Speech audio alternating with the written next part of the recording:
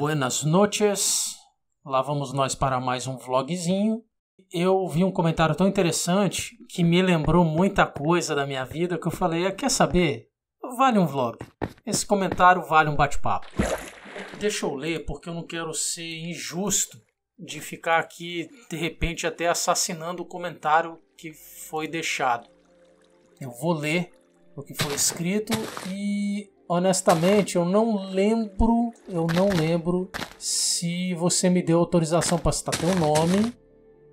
Então, na verdade, como eu não lembro se você me deu autorização ou não, eu vou evitar falar. Porque o que importa aqui mesmo é o comentário. Então é o seguinte, olha o comentário que deixaram para mim lá no canal. Eu também tenho barra tinha essa entre aspas síndrome de paisão querendo ajudar todos e ficando para trás. É bem complicado isso, e o amor próprio é deixado de lado. O resto aqui eu não vou ler não, porque né, não, não vem ao caso aqui, ele estava me fazendo elogio.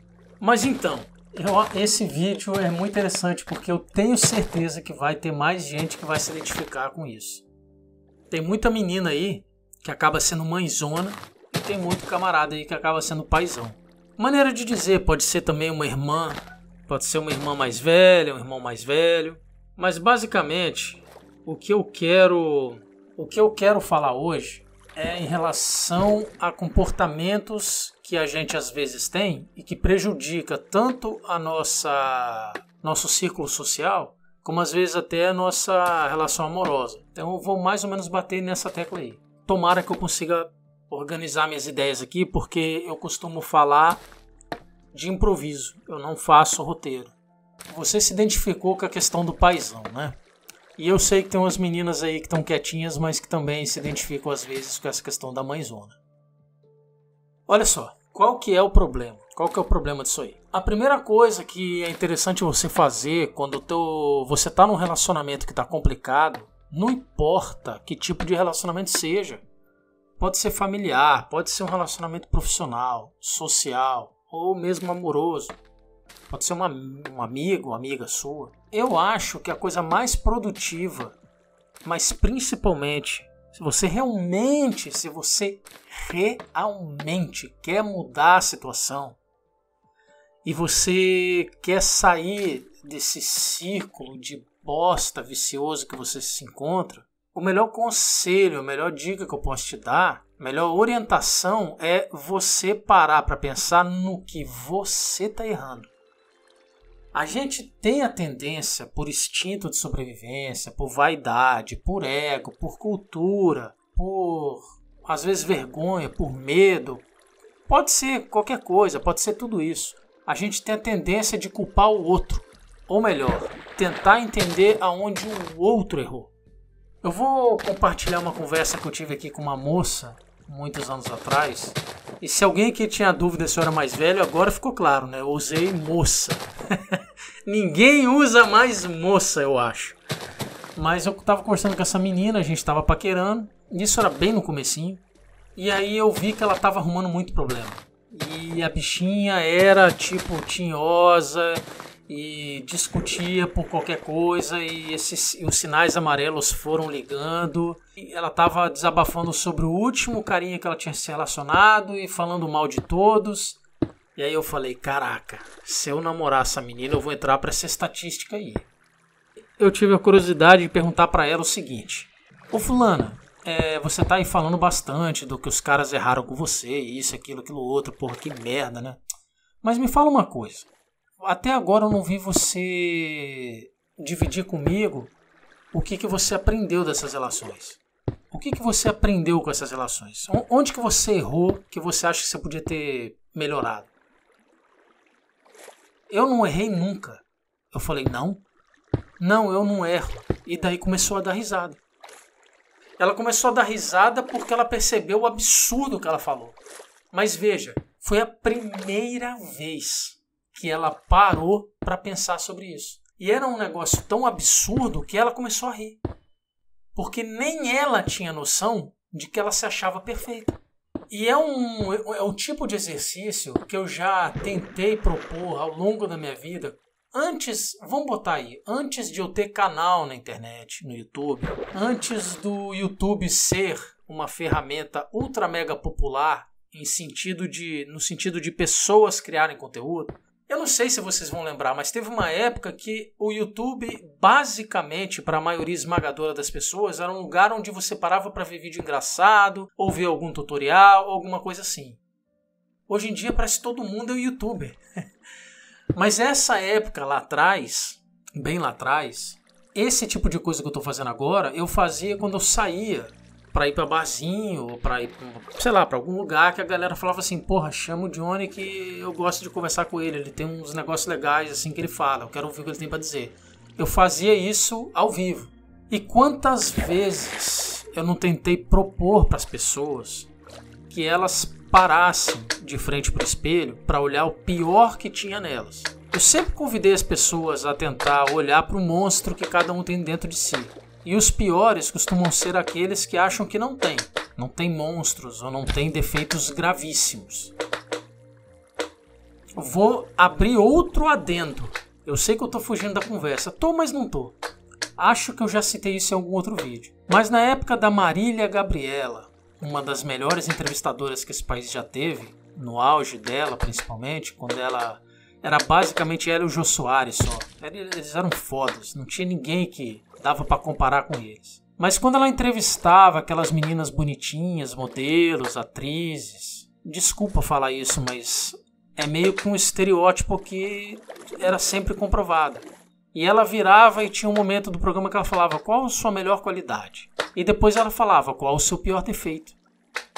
Cara, a maioria das vezes a pessoa dizia: "Ah, eu sou muito eu sou muito amiga. Eu acredito demais nas pessoas." Olha, tudo bem. A parte de eu acredito demais nas pessoas realmente é um defeito. Você precisa amadurecer e acordar pra vida que tem muito filho da puta por aí. Tem muito filho da puta. Tem gente que vai querer se aproveitar de você. Então, sim, é bom você perder um pouquinho a sua inocência. Isso daí pode ser um defeito. Não é, na verdade, não é um defeito, mas é um ponto fraco seu. Então é bom você trabalhar isso aí. Ter mais malícia. Agora, eu sou muito amiga? Desde quando amizade virou sinônimo de defeito? Eu sei o que elas estavam querendo dizer. Eu sei, a Marília a Gabriela sabe, todo mundo sabe. Mas eu acho engraçado a pessoa ter oportunidade de estar conversando com uma mulher tão inteligente como a Marília Gabriela, dar uma, sabe, uma entrevista que pode ser tão interessante. Você tem a oportunidade de ter um microfone na sua mão. Nessa época, a mídia engolia a internet. Ainda. Hoje não, hoje é o contrário. Mas naquela época, quem tinha o microfone tinha o poder, pô. E você tá recebendo a chance de ter um microfone num programa da Marília Gabriela e você me solta essa? Eu sou muito amiga. Pô, cara, faz isso não. Não faz isso não. É claro que ninguém vai virar lá num programa de TV que milhões de pessoas estão assistindo e vai jogar merda no ventilador. Ninguém é sincericida. Alguns até são. Mas, sei lá, cara. Vai falar uma merda dessa. Tem um pouco de culhões. Fala, sei lá. Ah, eu, eu leio pouco. Eu sou meio ignorante. Eu devia, sei lá, sei lá ler um pouco mais. Adquirir mais cultura. Ah, sou meio preguiçoso. Eu devia arrumar minha casa mais vezes. Mas eu sou muito preguiçoso. Acabo deixando sujar. Depois que acumula muito, eu vou lá e limpo. Sei lá, qualquer coisa é melhor do que dizer eu sou muito amiga. Isso aí é como se fosse falta de conhecimento próprio, falta de autoconhecimento. Então, quando você. Agora voltando lá ao início do, do, do vlog, que eu tava falando para vocês, porra, você é muito paisão às vezes, é muito mãezona. Vamos lá, o que, que você tá errando? No que, que você tá errando? Porque se a sua conclusão se a sua conclusão for, é, eu ajudo demais as pessoas, eu vou parar de ajudar as pessoas, então me desculpa, você não aprendeu nada, você deu um passo para trás. Meu Deus, não seja cretino, não seja cretina. A sua conclusão é ajudar as pessoas a errado? É isso mesmo? Quer dizer que se um dia uma pessoa, sei lá, tá morrendo de sede, tá ali quase desmaiando, aí você dá um copo d'água para essa pessoa. Aí ela pega e te dá um soco na cara, você vai concluir que você nunca mais deve dar água para pessoa nenhuma. Você é tão imbecil a esse ponto de, de, de não conseguir entender as nuances, sabe, as sutilezas da vida. Então o seu problema é muito maior do que ser mãezona ou paizão. Você está precisando é, trabalhar sua inteligência emocional, sua, você precisa amadurecer mais, né? Porque você está tirando conclusões muito bobas. Não, esse não é o problema. Esse não é o problema. Você precisa entender onde você está errando. Porque se você ficar focado no que os outros estão errando com você, você nunca vai mudar. E outra coisa, detesto jogar água gelada no sonho das pessoas, principalmente de forma brusca, mas eu vou ter que fazer agora. Se você acha que você vai mudar alguém, tire seu cavalo da chuva. Tire seu cavalinho da chuva. Ninguém muda ninguém. E agora vou citar inclusive uma passagem bíblica. Uma passagem bíblica não, mas uma das leis bíblicas. Deus deu livre-arbítrio às pessoas.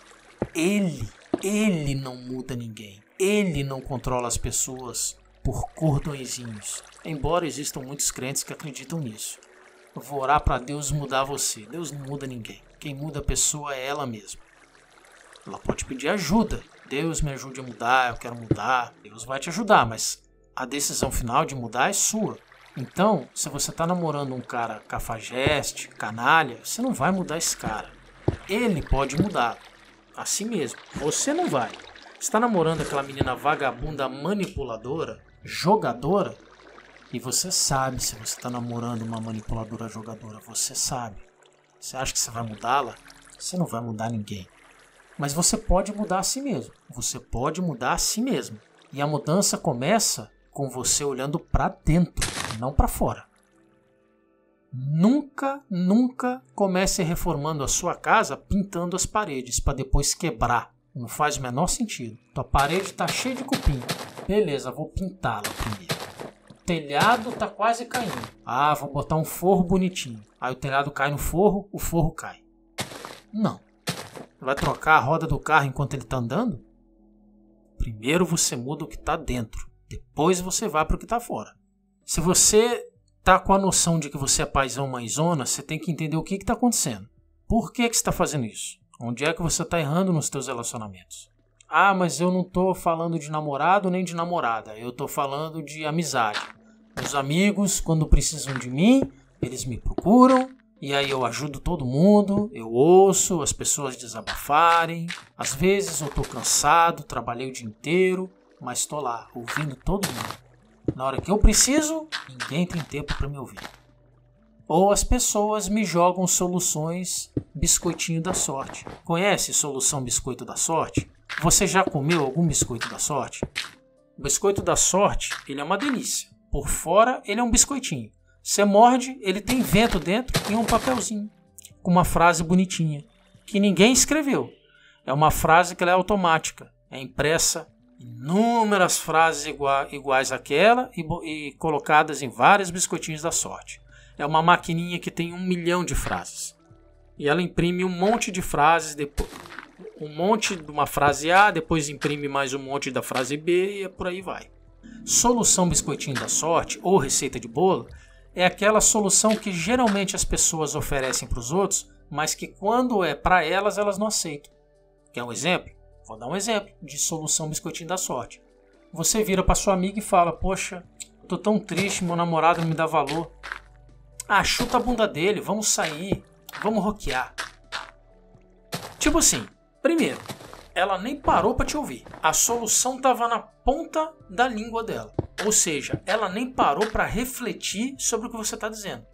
No fundo, no fundo, você sabe o que, que ela está tá te dizendo?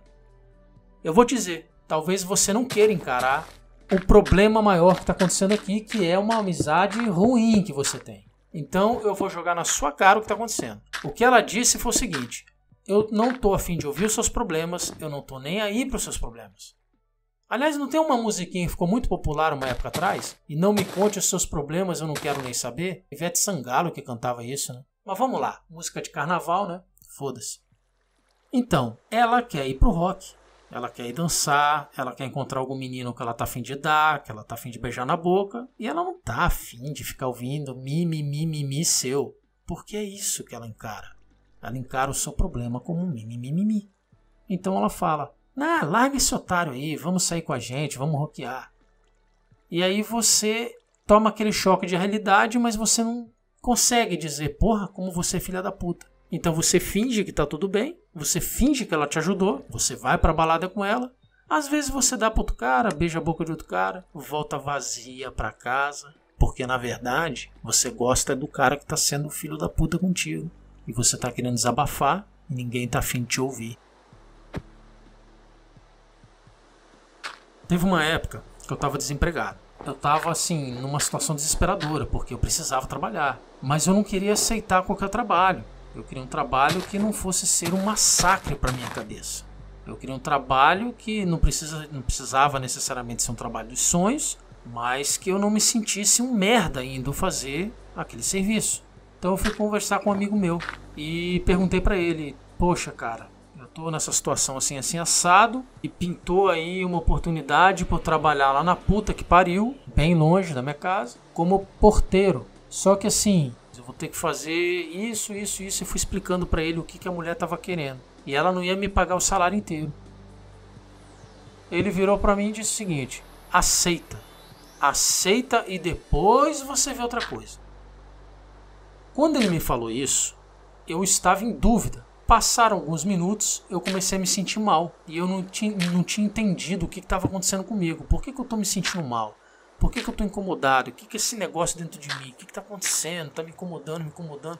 Aí eu peguei, a gente se despediu e tal, fui para casa. Fiquei com aquela merda na cabeça. Fiquei com aquela merda na cabeça.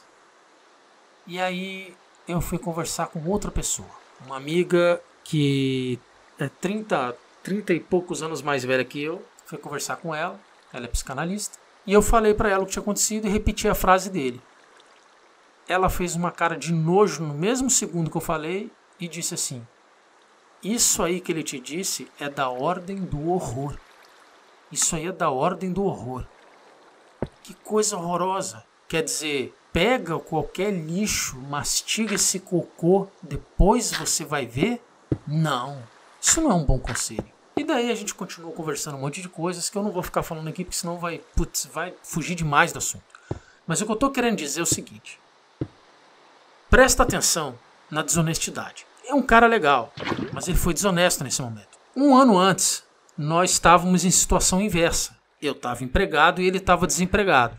E aí ofereceram para ele, ele era formado em, enfim, num curso aí, e aí ofereceram para ele é, o trabalho de secretário ele ia basicamente cuidar da agenda de uma pessoa aí relativamente conhecida. Ia ter que, né? Ia ser tipo agenda virtual humana dessa pessoa. Então ia anotar compromisso, não sei o que. E essa pessoa ia combinar com ele, me encontra em tal lugar, aí me encontra em tal lugar e tal, vamos fazer isso, aquilo, aquilo outro. Ia pagar lá um dinheiro para ele. Bem melhor, bem melhor do que o meu como porteiro, diga-se de passagem. Muito melhor ele topou, porque ele estava desempregado. E isso era, acho que, 10 horas da noite. Quando foi no dia seguinte, 7 horas da manhã, ele levantou, ligou pro cara, o cara falou para ele assim: "Me encontre em tal lugar". Aí ele foi para tal lugar, no meio do caminho o cara ligou e falou assim: "Ó, oh, não vai para tal lugar não, vai para outro lugar que eu vou para lá". Ou seja, me encontra no endereço A, aí no meio do caminho ligou para ele e falou assim: "Ó, oh, não é no A não, vai pro B". Aí ele pegou, parou o carro e disse: Ó, oh, não vai dar certo não. Como assim não vai dar certo? Não, não vai dar certo não. Esse negócio não vai dar certo não. Melhor, melhor, vamos, vamos deixar pra lá. E pegou e pediu demissão. Veja bem, ele não suportou duas horas de um trabalho que ele não estava afim de fazer, com um salário bom, mas sugeriu para mim que eu aceitasse um, um, um, emprego que ia ser massacrante para mim, porque eu não ia me sentir bem, e não estou dizendo que é vergonha trabalhar como porteiro. Eu já trabalhei como porteiro. Eu precisava. Eu estava desesperado e fui. Eu sou um cara relativamente inteligente, pô. Eu não tenho curso superior, mas tenho curso superior incompleto. Então você imagina, eu sou humilde o suficiente para reconhecer se a minha situação tá uma merda, eu vou lá e vou ser porteiro. Mas eu já tinha trabalhado, eu já tinha me sentido massacrado nesse serviço.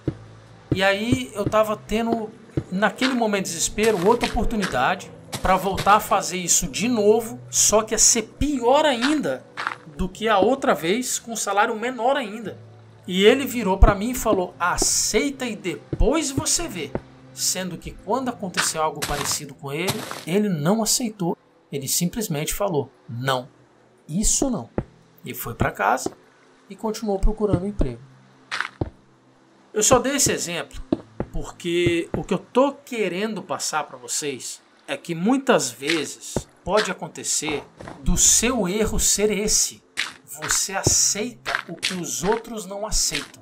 E quando a gente diz para a vida que a gente aceita migalha, por que, que a vida vai se preocupar em dar para a gente o filé mignon se a gente já está engolindo as migalhas? Você tem que ter o seu amor próprio. Muitas vezes na sua vida, você vai encontrar pessoas que vão dizer para você faça o que eu digo e não faça o que eu faço. O que que ele está dizendo para você fazer? Qualquer coisa. O que que ele não faz? Qualquer coisa. Então, qual é o seu erro? Qual é o seu erro? Você tá com um cara e o cara tá achando que você é a mãezona dele? Como é que esse cara trata a mãe? Ele dá satisfação para a mãe dele? Ele sente desejo sexual pela mãe dele? Ele respeita a mãe dele? Convida a mãe dele a participar das atividades, sair, desabafa com a mãe? Provavelmente ele procura a mãe quando ele está precisando de ajuda ou quando ele está precisando de grana. Se você é uma figura materna para ele, ele vai mais ou menos seguir essa linha contigo. Ele vai esperar que você compreenda ele. Ele vai esperar que você decolo quando ele erra. Ele não vai olhar para você como uma mulher fogosa, que ele tá afim de cuidar. Não, ele vai olhar para você quando ele tá afim de ser cuidado. E quem é que vai cuidar de você? Quem é que vai dar um trato gostoso em você? Porra, você quer ser a namorada dele? Quer ser amante dele? Ou você quer ser a mãezona dele?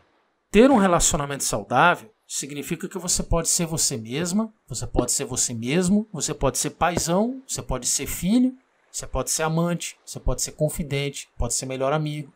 Mas para isso acontecer, as coisas têm que estar tá bem claras. Se você se apresenta como mãezona ou como paizão, as coisas não estão ficando claras. Vocês estão falando com alguém que tem vasta experiência nisso. Eu quebrei minha cara com força, com amigos, com namoradas. Porra, eu namorei uma menina que começou a. A gente era namorado e ela começou a confidenciar para mim que tinha um cara que ela gostava que não gostava dela. Como assim, caralho? A gente é namorado e você tá confidenciando para mim que você tá deprê porque tem um cara que você gosta que não gosta de você, você é minha namorada, filha da puta. Mas não foi ela. Quer dizer, ela errou, óbvio, mas eu errei. Eu virei paizão, cacete. Quando você vira mãezona e vira paizão, a primeira coisa que é alterada aí é a libido. Se você quer que tenha fogo, que tenha tensão sexual, que tenha desejo sexual, que a libido fique a mil, você não pode adotar esse tipo de papel. É broxante isso aí. O meu namoro mais recente, eu virei para minha namorada e falei: escuta, para de agir como se fosse minha mãe, porque você não é minha mãe. A minha mãe é minha mãe. Eu não quero namorar minha mãe. Eu quero namorar uma mulher que eu tô afim de trepar, que eu tô afim de ser amigo dela, que eu tô afim de ter uma relação com ela. Para de me tratar como filho, porra. Ela não gostou do que eu falei, foi conversar com o amigo dela, que ela confidenciava tudo para ele. Ele virou e falou assim: Ó, vou ter que dar razão pro teu namorado. e aí ela parou para pensar. Enfim, a gente acabou terminando. Aonde você tá errando? Sabe o que é produtivo? Quando você termina um relacionamento, ao invés de você ficar tentando entender onde você foi injustiçado, é você ficar entendendo, tentando entender qual foi a cagada que você fez, para você não fazer de novo porque eu tenho certeza que tem um monte de gente que está me ouvindo agora que comete sempre os mesmos erros nos relacionamentos. Amizade, profissional, amoroso. É ou não é? Quantas vezes você não pensou assim, eu tô nesse emprego aqui, tá uma situação de merda, no próximo emprego que eu tiver não, não, não vou deixar nada disso acontecer. Aí você entra no próximo emprego e começa a acontecer tudo de novo. Aí você vai pro próximo emprego e começa a acontecer tudo de novo. E você fica com aquela, com aquela sensação de que todo mundo é filho da puta. Será? Eu não vou tirar sua razão, porque é muito provável que você tenha trabalhado realmente com um monte de filho da puta em um monte de lugar diferente. Mas talvez não seja só isso. Porque se essa for a explicação, não tem nada que você possa fazer. Eles são filhos da puta. Mas e se o problema for você? Que provavelmente é. Aí você pode fazer alguma coisa. Eu, por exemplo, levei porrada atrás de porrada atrás de porrada e de vez em quando continuo levando. Porque eu acho que muitas vezes eu tô afim de falar alguma coisa e eu não falo. Eu fico segurando. E você que me ouve deve estar tá pensando assim: como é que você fica segurando? Você fala bem aqui no YouTube, você fala bastante. Sim, mas no YouTube é uma coisa. Na vida pessoal, às vezes, quando você está de frente para a pessoa, você trava. Eu fico com receio de ofender, eu fico com receio de sofrer perseguição. Então, muitas vezes eu quero falar uma coisa e não falo. E eu acho que esse é um dos problemas. Porque se no começo você não impõe limites, depois fudeu. Depois vai ser bem difícil. O que, que você está fazendo de errado? O que, que você sempre faz no começo dos teus relacionamentos? Amizade, profissional, amoroso, que lá na frente vai dar uma merda. E aí não tem mais como consertar. Ou é super difícil consertar. Será que você é aquele tipo de cara que quando começa a namorar a menina, você começa a comer na mão dela? Ser gentil, cuidar é uma coisa. Ser otário, trouxa, capacho é outra. Será que você é o tipo do cara que abandona os amigos quando aparece uma perereca? Será que você é o tipo de guria que quando tá afim de um cara, você começa a furar os olhos, os olhos das suas amigas? Eu não sei. Só quem pode responder essas perguntas são vocês. O que, que vocês estão fazendo de errado? Então, cara, você que me mandou esse comentário. Porra, eu era paizão e aí as pessoas sumiam. O que, que você fez de errado? Será que as pessoas foram filhas da puta com você? e simplesmente se afastaram porque elas quiseram te usar e tchau? Talvez sim. Será que em algum nível você não deu a entender que você era descartável? Será? Para pra pensar. Eu, quando morei no interior de São Paulo, em Taubaté, eu trabalhava num lugar que eu dependia das pessoas para poder ganhar minha comissão. Porque eu fazia meu trabalho, mas tinha algumas pessoas que tinham que registrar a venda. Essa era a norma da casa. Eu vendia e aí vinha uma, uma terceira pessoa e tinha que registrar minha venda. E aí eu via que dava discussão direta, porque às vezes as meninas não registravam a venda e daí dava aquela discussão dos vendedores com as meninas. E aí eu pensei, porque eu sou melhor que todo mundo, né? Tô sendo irônico, óbvio.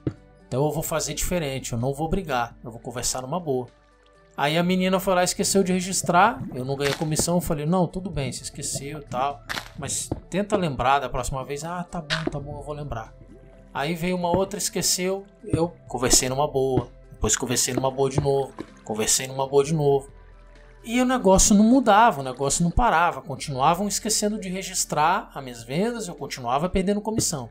Um dia, um funcionário que não era nem vendedor, nem parte dessa, desses registradores, mas tinha uma outra função lá na, no, no, enfim, lá na empresa, me chamou no canto e falou assim: Rapaz, sabe o que eu acabei de ouvir das meninas conversando? Tinha uma menina lá que falou assim: Nossa, eu esqueci de registrar a venda do Johnny, meu Deus. Aí tinham duas em volta e falou assim: Não esquenta a cabeça, não, ele não liga, não. Tipo assim, eu quis quebrar o, pa o padrão das discussões porque os vendedores gritavam com as meninas, eles ficavam putos. Eu falei, eu vou ser educado, eu vou tratar as meninas com carinho. E aí a filha da puta me interpreta isso como eu não ligo e fala foda-se, não vou registrar. Esse foi meu erro. Mas o meu erro não foi ser gentil. O meu erro foi não ter deixado claro que eu estava insatisfeito. Eu poderia ter sido gentil e ter sido firme. Mas eu não fui. Eu fui gentil e fui frouxo. Se eu concluir que a gentileza é o problema, então eu sou um cretino. No que você está errando? Você está errando em acreditar no amor? Não, esse não é o problema. Você está errando em ser uma boa namorada? Em ser um namorado carinhoso? Não. Esse não é o problema. aonde você está errando. Você só vai crescer e se tornar um adulto não é depois que você fizer 19, 20, 21. É quando você começar a mudar o padrão do adolescentão, da adolescentona em você e começar de fato a ficar mais maduro. Se você tá com um cara que não te valoriza, você sabe o que você tem que fazer. Se você tá com uma menina que acha que você é um otário porque você é atencioso e carinhoso, você sabe o que você tem que fazer. Não é virar jogador, não é começar a bater nela, não é começar a meter chifre nele. Você vai se tornar a pessoa pior por causa de um filho da puta? Então você não tá aprendendo nada com a vida. Você tá andando para trás. Me desculpa. Mas vai chegar uma hora que uma pessoa especial vai aparecer na sua vida e você vai ser um filho da puta para essa pessoa especial. Ao invés de você ter um relacionamento maneiro e construir um negócio massa, eu vou dar uma forçada na barra aqui, tá? Entre aspas, ao invés de você construir um conto de fadas, você vai construir um conto de bruxas. E a bruxa vai ser você. E o otário, o babaca, vai ser você. Um cara escroto, que foi lá, trepou com a menina e falou tchau. Depois vocês ficam vendo relacionamentos maneiros em filmes, em séries, em jogos ou na vida real. Pessoas que estão juntas há 20 anos, 15 anos. Aí vocês vão ler um livro e vem lá um casal foda, que é parceiro, que é um time fechadinho. E você fala: Isso só existe em história. Não, cara. Isso podia ser a sua vida, mas você escolheu ser um otário. Isso podia ser a sua vida, mas você escolheu ser uma menina otária. E quando eu digo otário, eu não estou falando otário do tipo que é babaca, que faz coisa ruim, sabe? Que agride, que mete chifre, fica traindo, fica jogando. não estou falando só nesse sentido. Estou falando também no sentido do, do, do frouxo, da frouxa. Se imponha. Você não precisa se impor com ódio. Você não precisa se impor com grosseria. Aliás, quem consegue se impor com educação, ponderado, sereno, costumam ser os que mais têm firmeza e que mais têm respeito. Tá cheio de gente histéricazinha gritando, fazendo escândalo. Isso é o que mais tem. Isso aí é o famoso cachorro que ladra não morde. Onde você tá errando? Pense nisso. Pense nisso. Valeu, um abraço, Deus abençoe e até o próximo vídeo.